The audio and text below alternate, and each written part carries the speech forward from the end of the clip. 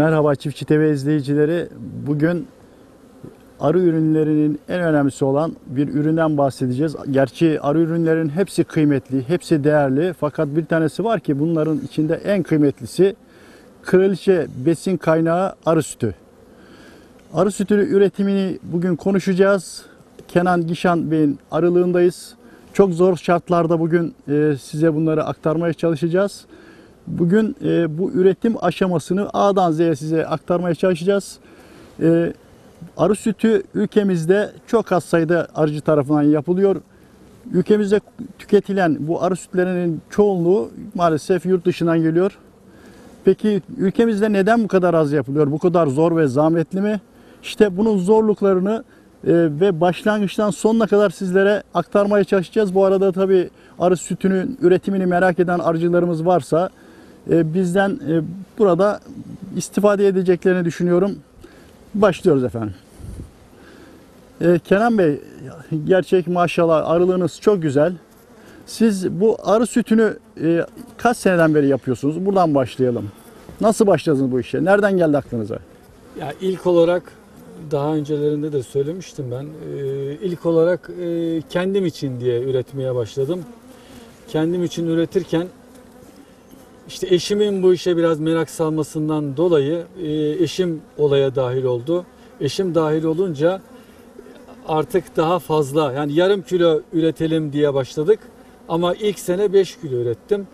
Geçen seneki üretimimiz 30 kilo oldu. Maşallah. Yani eşim olaya dahil olduktan sonra üretimimiz arttı.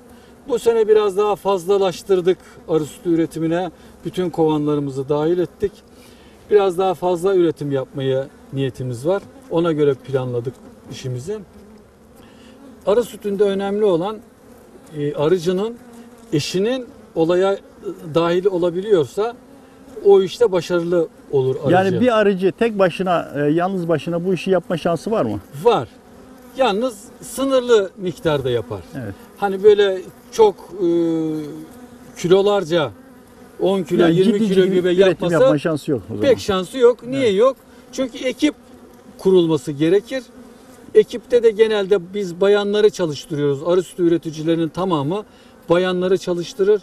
Bayan bayanın e, bir aralıkta çalışması için de arıcının eşinin Dahil yani olması dahil olması lazım Evet. bir şey.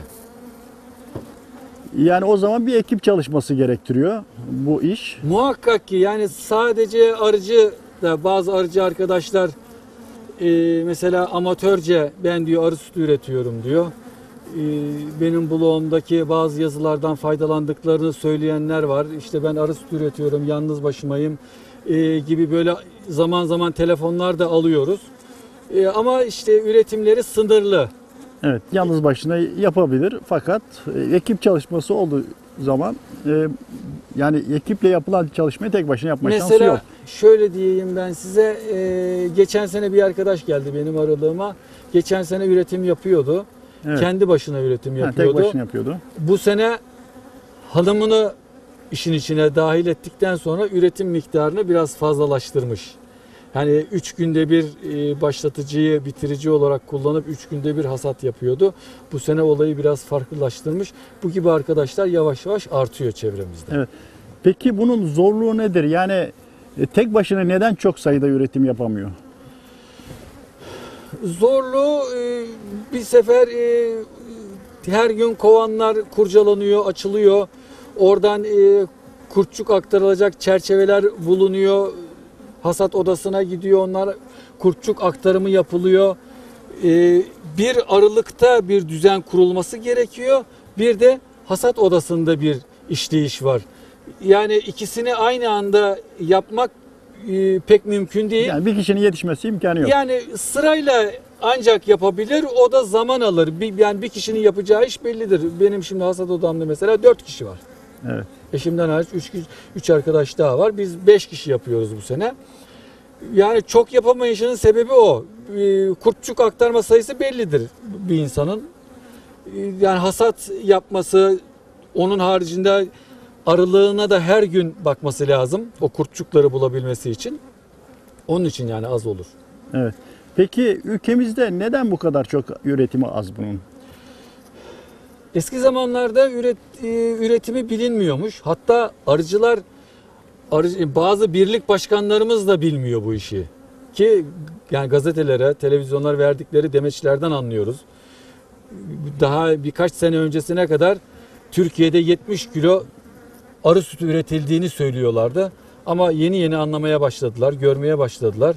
Sadece e, bir iki arıcının yani o sütleri üretebildiğini görüyorlar artık. Ki bizim yerli üretimimizin yaklaşık bir ton olduğunu düşünüyorum ben.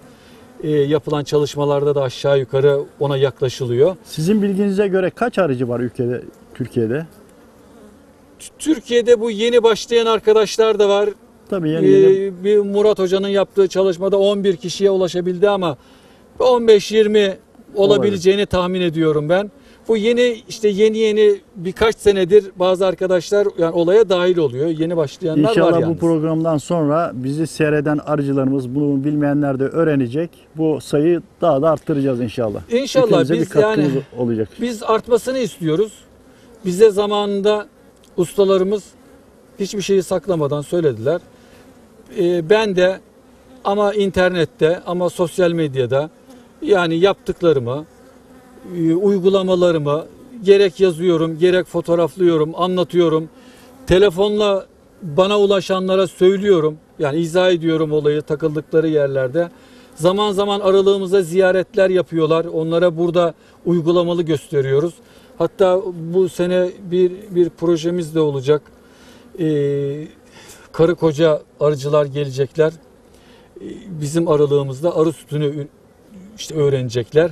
Başka kurumlardan da şu an için e, gelip de e, uygulamayı direkt görmek isteyen, birkaç gün burada kalmak isteyenler var ama daha kesinleşmiş değil.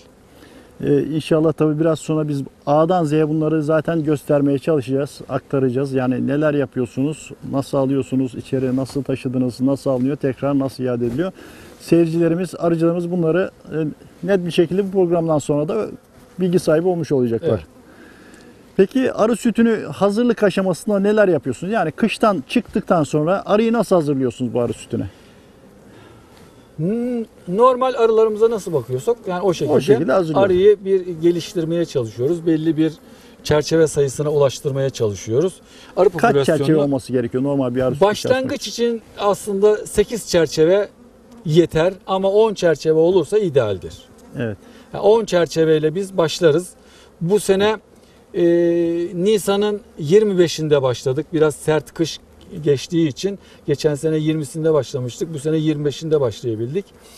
E, bir 10 çerçeve arıyla başlayabiliyoruz. Yani biz. burada hava şartlarına neyi e, dikkate almak gerekiyor? Ne- zaman olarak neyi bekliyorsunuz? Kıştan çıktık. Arı 8-10 çerçevelere geldi. Bir çok soğuk olmamasına dikkat ediyoruz. Çünkü biz burada e, kovandan kuluçka sıcaklığı 34-35 dereceden çerçeveleri, kurçuklu çerçeveleri alıyoruz. Hasat odasına götürüyoruz. Orada bir saatten fazla kalıyor. Ee, onun için e, hava sıcaklığı belli bir seviyelere gelmesi lazım. Bir de e, aşağıda 5, yukarıda 5 çerçeve olarak kat attığımız zaman yukarıdaki arının o yavruyu bırakıp da aşağıya inmemesi için sıcaklık böyle 20 derecelere 15 derecenin üstüne falan çıkmasını bekliyoruz açıkçası. Yani Evet. çok da erken yapmamaya çalışıyoruz. Peki bu arada e, bu dönem itibariyle yani 10 çerçeve arı e, tabii kendi popülasyonunu arttırıyor, yavruyu arttırıyor. 15-20 çıtalara ulaş, ulaşabiliyor. Sizin Evet. için e, bu durumda ne yapmak gerekiyor? Siz nasıl, 10 çıtayla çalışıyorsunuz. Aslında Zor olabilir o açıdan soruyorum. normal arıcılar, normal arıcıların arıları daha hızlı gelişir. Biz arıyı devamlı sıkışık, kuluçka alanını devamlı sınırladığımız için, Evet.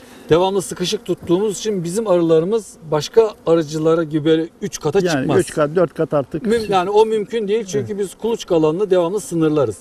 İsteriz ki biz 5 gün önce verdiğimiz peteğe 5 gün sonra kurtçuk alabilelim. Onun için de arayı devamlı sıkışık tutarız kuluçka alanında. Ee, çok açmayız. Yani bizim alt katlarımız 10 çerçeve olmaz. Hatta 8. çerçevede bile biz zorlanırız. Her arı 8 yani 8 çerçeve olduğu zaman oraya benim istediğim zaman da yumurta atmayabiliyor. Evet tabii bir taraftan Yani sürekli yediği larvalar- aşmamaya çalışıyorum ben. Evet larvaları da aldığınız için yani Tabii larvaları da kullanıyoruz bir sürekli kısmını. kullanıyorsunuz. Evet. Peki o zaman şimdi e, sezon olarak arıya başlangıcını anlatalım. Yani arıcı artık e, sezon geldi. Başlamak istiyor. Bir yani yeni bil, bu işi bilmeyen arıcılara bilgi olması açısıyla nasıl başlaması gerekiyor? Ne gibi hazırlık yapacak? Yani normal standart arıcıların yaptıklarını yapacak baştan. Ondan sonra işte bizim farklılığımız bir kat atma aşamasında başlıyor. Ee, ilk kurtçuk aktarımından en az 5 gün önce katı atıp o istediğimiz yere o siyah boş siyah peteği koyması lazım. Onunla biz başlarız. Yani da- daha önceden de katı atmış olsak bile 5 gün öncesinde eğer ben bu kovandan 5 gün sonra kurtçuk almak istiyorsam 5 gün önce buna siyah petek vermem lazım. Yani verdiğiniz peteğe 5 gün sonra kurtçuk Evet. alınacak hale hazır oluyor. Evet. Evet. Peki tabii böyle bir aralık e, tabii böyle bir şey yapabilmek için bir de bu kurtçukların aktarım için bir oda şart değil mi bu iş için? E, muhakkak ki bazı arkadaşlar bunu çadırda falan yapmaya çalışıyorlar ama çadır ortamında yani hem hijyen olmuyor hem zor oluyor. Muhakkak ki bir e, suyu olan, tuvaleti olan, ha, ideal koşullardır. Suyu ve tuvaleti olan bir konteyner veya bir kulübe olması şart. Yani kapalı bir ortamı muhakkak Kapalı bir şart. ortamı olması şart. Evet. E, o zaman şimdi şu e, başlangıç aşamasından e, arı üzerinde de gösterelim bunları. Şimdi sezon geldi. İlk olarak e, bir arıcı başlamak için malzeme olarak ne hazır etmesi gerekiyor? Yani bunun için çıtaları tabii kıştan hazırlaması gerekiyor muhakkak.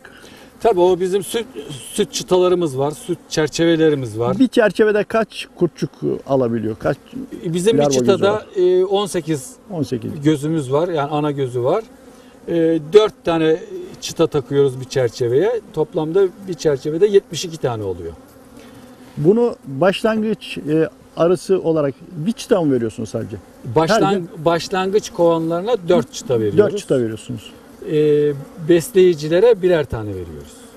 Evet. Mesela bu, bu kovanımız besleyicidir. Bunda bir çerçeve var. Yani 72 göz var. Peki besleyici de kaç çıtalık arı var? 10 çıta mı bu da? 10 olur, 12 olur, e, işte 14 olur. Arının yani ana arının verimine göre, iyiliğine göre değişebilir o kalite. Evet. Peki o zaman e, başlangıçını biraz anlatalım.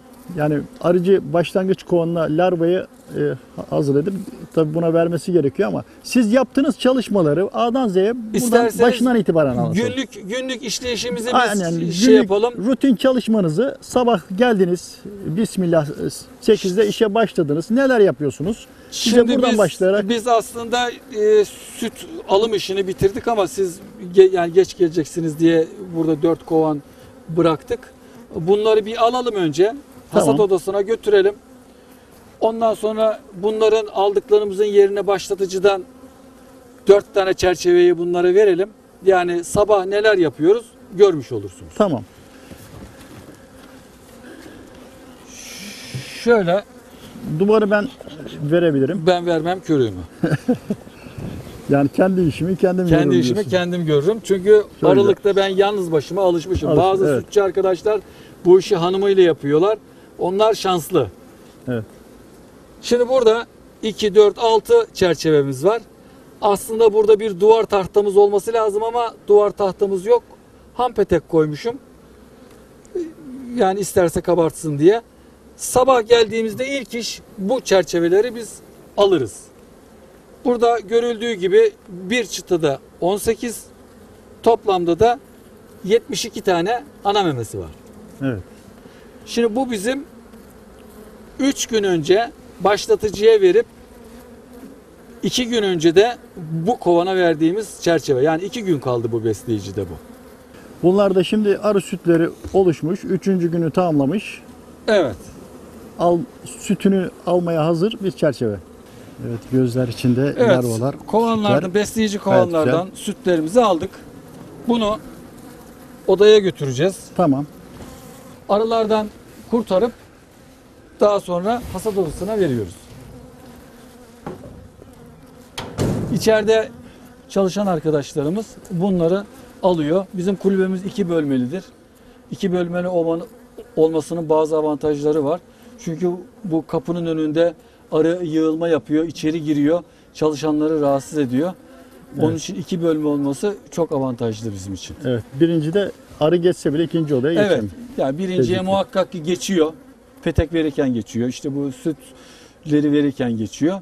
Ama daha sonra içeriden çıkartıyoruz onları. Evet. Sabah ilk geldiğimizde besleyici kovanlardan besleyici kovanlarda iki gün kalan arı sütü çerçevelerimizi aldık. Hasat odasına bıraktık.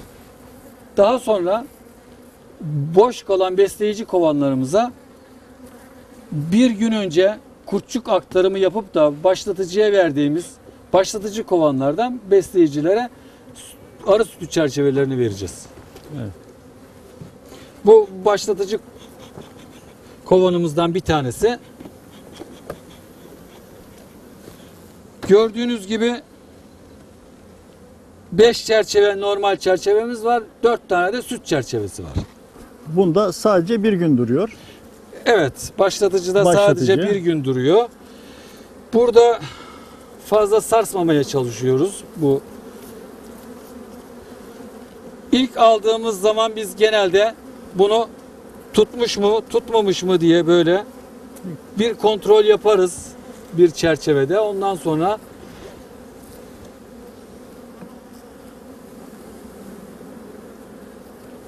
yani tutma oranını ilk burada bir kontrol etmiş oluruz. Buradaki amaç zaten e, önce tutturmak. Evet. Bu başlatıcı kovanlarımız anasız. Anasız olduğu için ana yapmaya çalışıyor. Biz de arının bu davranışını kullanarak bir miktar arı sütü koymasını sağlıyoruz. Yani bu başlatıcı ko- koloni aslında arı sütü üretmez. Sadece çok az bir miktarda çok az bir Larvayı- miktarda arı sütü koyar. Bunu Evet. o larvanın yaşamasını devam ettirir aslında. Buradaki amacımızsa besleyici kovanlarımız bu başlamış olan ana memelerini devam eder.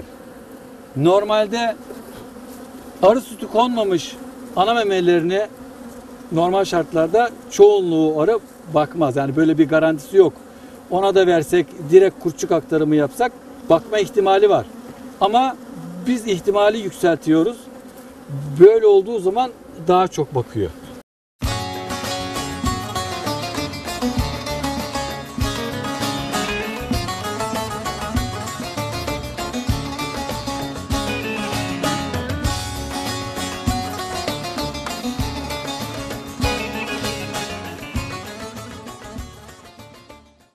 Başlatıcıda aldığımız arı sütü çerçevelerini besleyici kolonilere veriyoruz.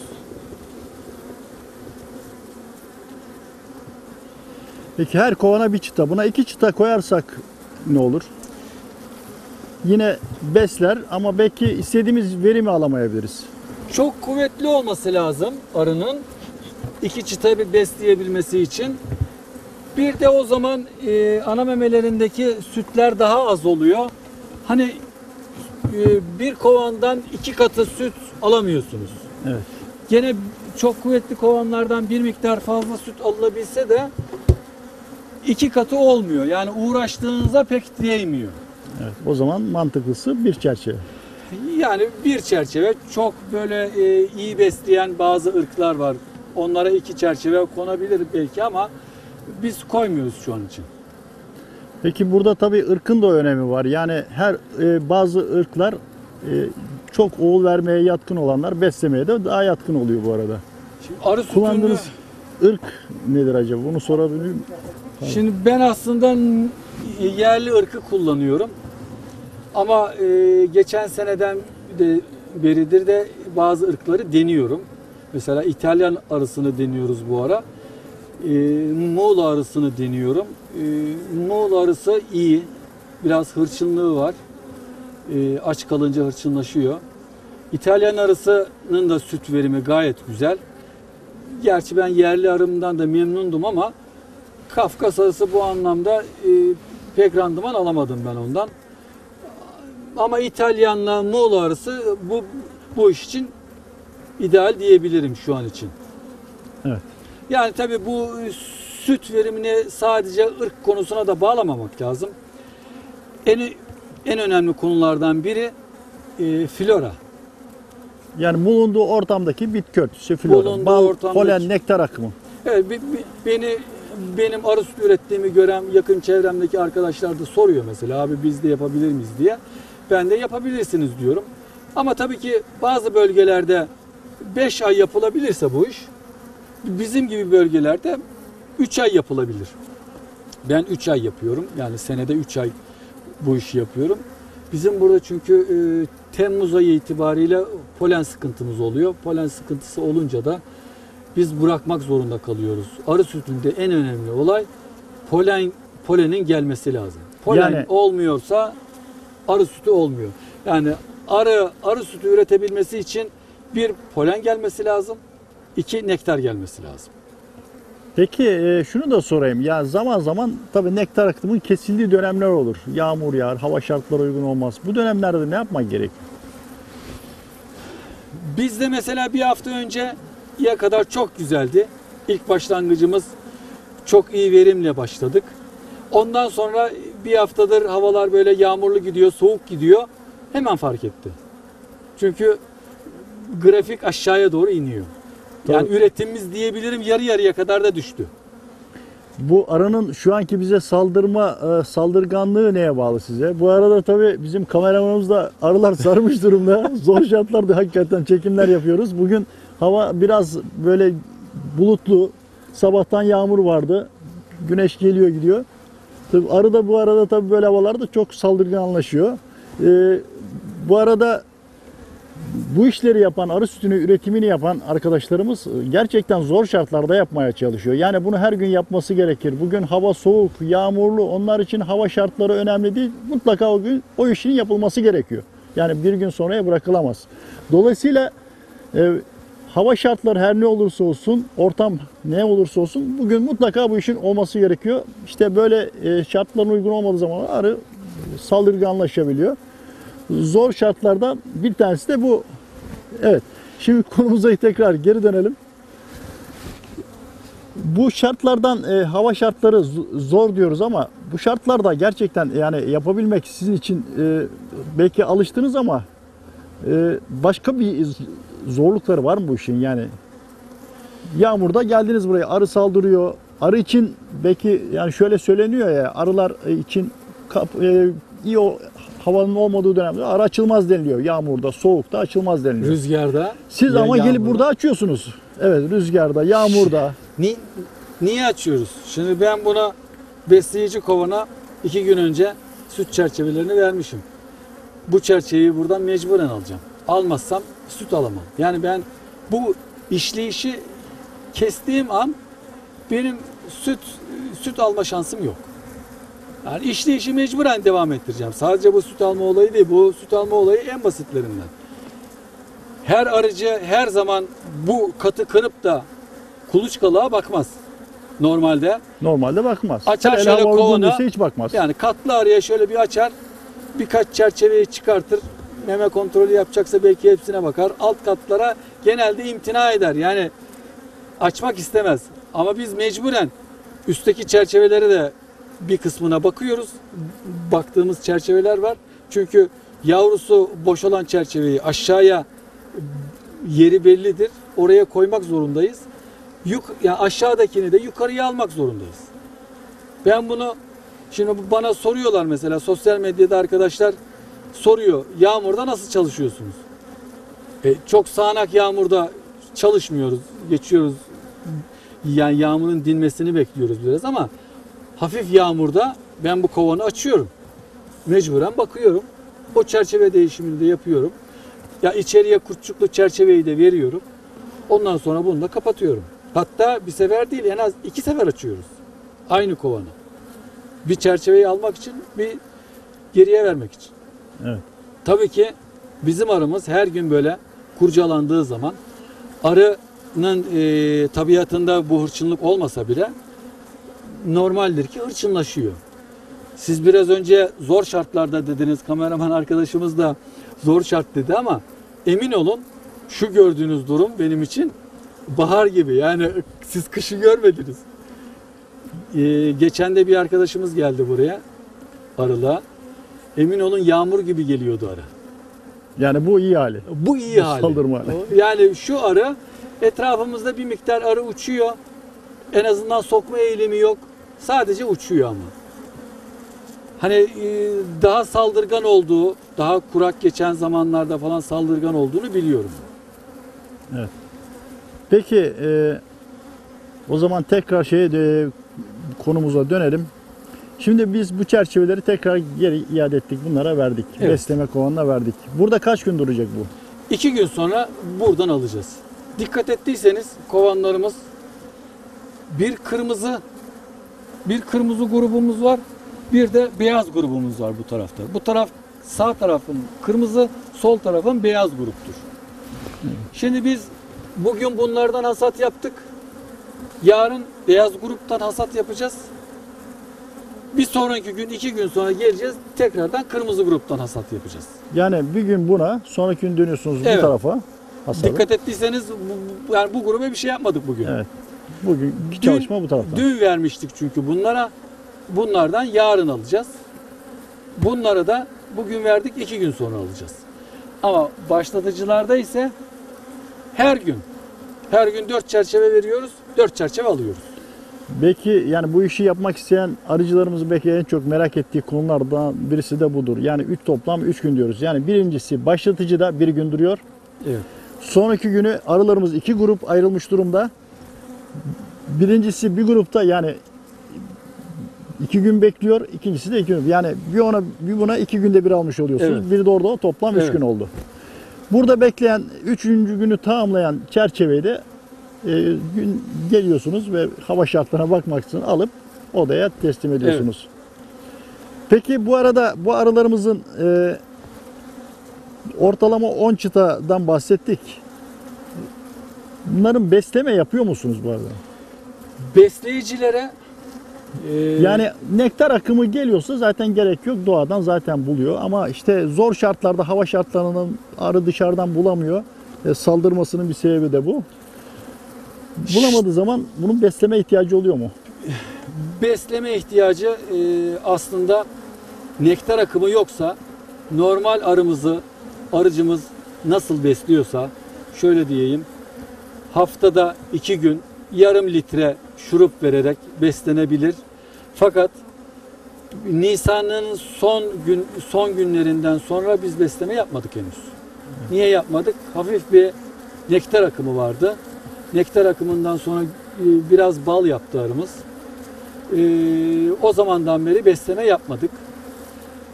Yaptığımız besleme de işte geçen sene yapmıştık mesela. Ee, yaptığımız beslemede benim destekleyici kovanlarım nasılsa hani tek katlı gelişmesini istediğim arıyı ne kadar besliyorsam bunları da o kadar besliyorum. Yani aç kalmayacak kadar aslında. Arı sütü üret yani üretilsin diye ekstradan bir besleme yöntemimiz yok. Sadece başlayıcıları, başlatıcıları besliyoruz biz. Evet yani biz arımızı bal sezonunu hazırlarken yani nektar akımı öncesi hazırlarken nasıl besleme yapıyorsak aynı şekilde Evet. Kenan Bey de bu Yani şekilde ekstra beslemiş. bir beslememiz Ekstra bir yok besleme besleyicilerde. Evet.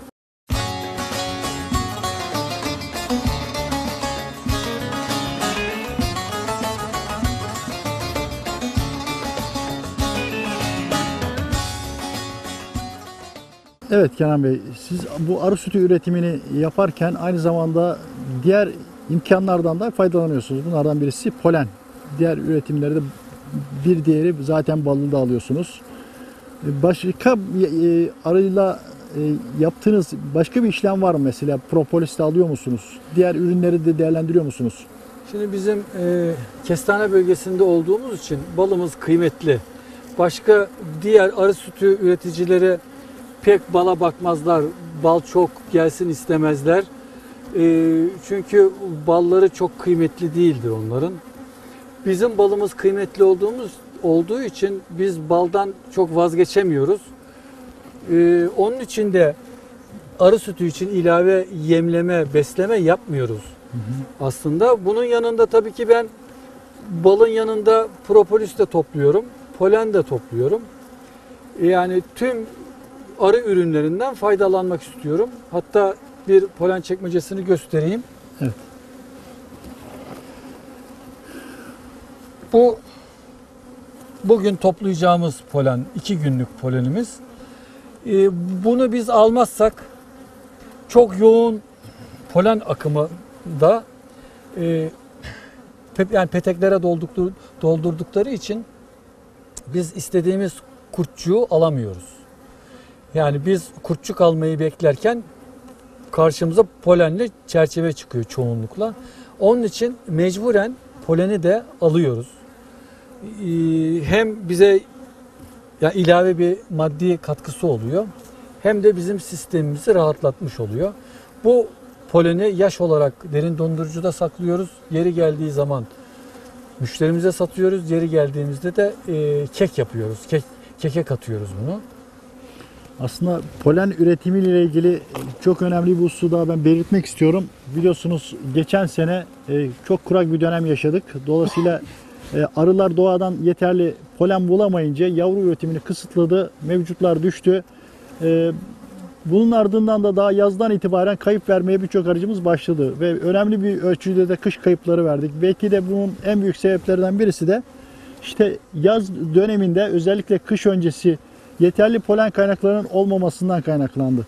E, Halbuki biz bu polenin bol olduğu dönemlerde bu poleni alıp e, dip frizde saklasak işte polenin kıt olduğu dönemlerde de bunu arıya tekrar vererek arının ihtiyacını karşılamış olsak ideal bir arıcılık yapmış oluruz. E, Kenan Bey burada arılığında e, arı sütünü alıyor, balını alıyor, polenini alıyor, propolisini alıyor. Yani arıdan alınabilecek bütün imkanları değerlendirmeye çalışıyor. E, hem gelirini arttırıyor hem de ideal bir arıcılık yapmaya çalışıyor. E, Dolayısıyla bütün arıcıların bu imkanları değerlendirebiliyor olması lazım. Yani gelirimizi çeşitlendirmemiz gerekiyor. Sadece baldan ümit etmek e, aslında imkan varken niye kullanmıyoruz e, mantığı. Bir de Kenan Bey'in gösterdiği poleni alıyoruz ama şöyle bir durum var. E, balın bal öncesi e, yani polenin bol geldiği bir dönem var. Belki bölge bölge farklı olabilir ama özellikle Yalova bölgesinde pamucağın açtığı bu dönemde e, çok fazla miktarda polen geliyor. Bu sefer e, bu fazla gelen poleni arılar çerçeveler üzerinde fazlasıyla depoluyor. Yani 3-4 çıta hatta 5-6 çıtada tamamen blok olmuş, polenli blok olmuş çerçeveler oluşuyor. Bu sefer arı e, bu çerçeveler üzerine atması gereken yumurtayı atamıyor çünkü blok olmuş yani yer yok. E, bu da arıcı için aslında bal sezonu öncesi çok olumlu değil. Yani arının ihtiyacı kadar bıraksak bu da sağında ve solunda kenarlarda birer çıta polenli, ballı polenli çıta olması aslında yeterli. Yani bunun fazlasını görüyorsak almakta fayda var. Polenden bir değerlendirme imkanımız daha var. Bu da arı ekmeği. E, perga olarak adlandırılıyor. Bu arı ekmeğini de artık Türk ülkemizde çok üreten yok ama polenden kat kat daha fazla e, besin değerleri yüksek. E, çünkü polen bu şekilde az önce gösterdiğimiz poleni arılar doğadan toplayıp kovana getiriyor ama arı direkt bu- bunu yiyemiyor. Kovanın içerisindeki e, petek gözlerine depoluyor. Bu gözler üzerinde belirli bir mayalanma, fermentasyondan sonra e, arıların, yavruların yiyecek haline geliyor. Yani arıların yavruları bunları yiyerek besleniyor. Yani polen protein kaynağı. Dolayısıyla protein kovanda olmazsa olmazlardan birisi. Ama fazlasını e, değerlendirmekte bir arıcı olarak e, mecburiyetimiz var. E, bu konuyla ilgili söylemek, eklemek istediğiniz bir şey var mı Kenan Bey? Şimdi zaman zaman soruluyor hangi günlerde polen toplayacağımızı e, soruyorlar bize. E, be- be- benim sistemim biraz farklı. Yani kameraman arkadaş kovan girişlerini gösterirse oradan daha iyi anlaşılır. Benim bu kovan girişlerim yani polen kapanlarım yaklaşık iki haftadır devamlı açık. Devamlı polen topluyorum. Yani olduğu zaman alıyorum, olmadığı zaman almıyorum ama nasıl oluyor? Polenin bir kısmını zaten arı e, girişten eski giriş yerinden devamlı olarak kovanın içine sokuyor.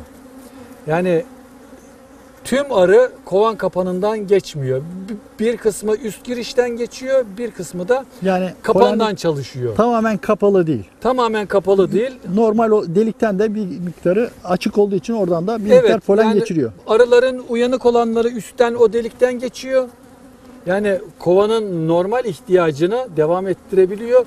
Çünkü biz her gün kovanları açıp da takip ediyoruz, bakıyoruz. Polen var mı yok mu onu da takip ediyoruz tabii ki. Yani bizim bu çalıştığımız sistemde polen tuzakları devamlı olarak çalışıyor. Yani ihtiyacını o delikten karşılıyor. Yani e, siz sürekli aç kapa yapmıyorsunuz. Sürekli poleniniz açık duruyor bu şekilde. Evet, diğer arıcılar bir, bir gün alır, bir gün almazken bizimki sürekli açık kalıyor. Evet. Ve her gün gibi de topluyoruz. Yani en fazla iki günde bir topluyoruz. Yani taze olarak temizleyip difrize koyuyoruz. Evet. Kenan Bey çok teşekkür ediyorum. Bizi e, aradığınızda ağırladınız. Bu değerli bilgilerinizi tüm arıcılara duyurma fırsatı e, bizlere e, sundunuz. Bunun için size teşekkür ediyorum. Bu konuda söylemek istediğiniz bir şey var mı? Sağ olun, teşekkür ederim. Yani arıcılarımıza faydalı olabildiysek ne mutlu. İçeride de söylemiştim. Öğrenmek isteyen, arı sütü üretimini öğrenmek isteyen, eşiyle beraber gelip görmek isteyen arkadaşlara kapımız her zaman açık. Geldiğiniz için teşekkür ederim. Ben teşekkür ediyorum. Evet, e, saygıdeğer Çiftçi TV izleyicileri Kenan Bey'in aralığında bu programımız bugünlük sona ermiş bulunuyor. Bir sonraki programda buluşabilmek ümidiyle hoşça kalın, sağlıcakla kalın efendim.